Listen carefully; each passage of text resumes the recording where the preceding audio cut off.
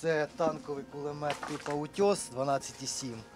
Ми знайшли його, коли е, були на пошуках нашої очередної втра- втраченої пташки. Військовий Артур показує знайдену на полі бою ворожу техніку, зберігають її у себе як сувенірну. Дуже важкі втрати такий кулемет наносить по піхоті, по живій силі нашій відпрацьовував він, але вже на даний момент він не відпрацює.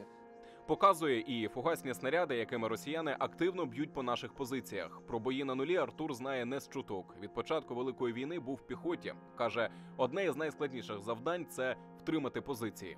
Втримати ворога на підступи до нашого ВРО. З цією за- завданням, е, на превеликий жаль, із втратами, але ми впорались, бо була висока мотивованість особового складу. На фронт пішов добровольцем на момент вторгнення, тільки но закінчив магістратуру Дніпропетровського аграрного університету. До цього ще навчався у Польщі на менеджера персоналу. каже, це той випадок, коли цивільна професія неабияк згодилась на передовій. Науки, які в подальшому е, знадобились мені для і управління е, підрозділом, особовим складом, і для, скажімо так, взаємодії з іншими підрозділами на рівні нашого взводу. Зараз Артур вивчився на аеророзвідника, згадує на самому початку і не думав про підрозділ операторів БПЛА. Зараз ситуація кардинально змінилась. Нас завжди менше.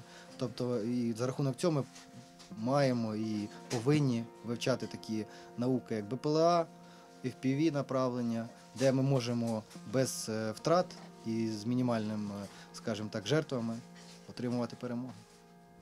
Навіть на тактичному рівні.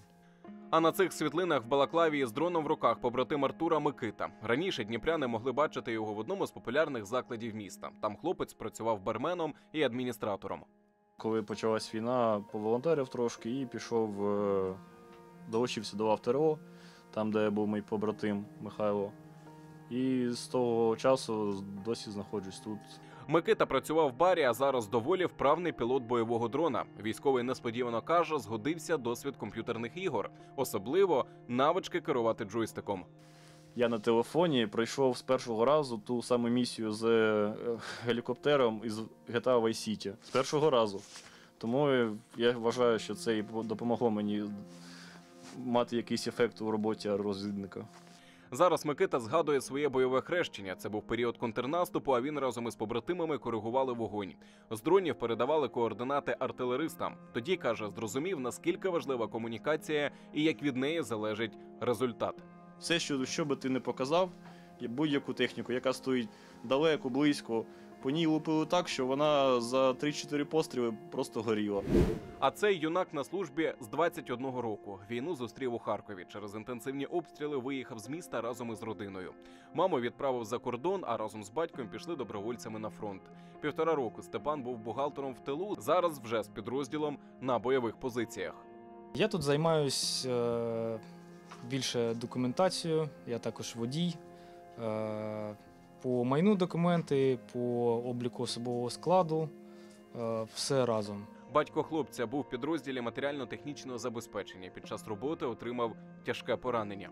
Зараз е, його стан стабільний, е, він відновлюється, чекає протезування. В нього немає частини кінцівки. На, на щастя, лише ступні і трохи вище сустава. Попри важкий досвід для свого молодого віку, воїн повен рішучості захищати Україну до перемоги. Надихає і незламний рідний Харків, який не здається під щоденними обстрілами росіян.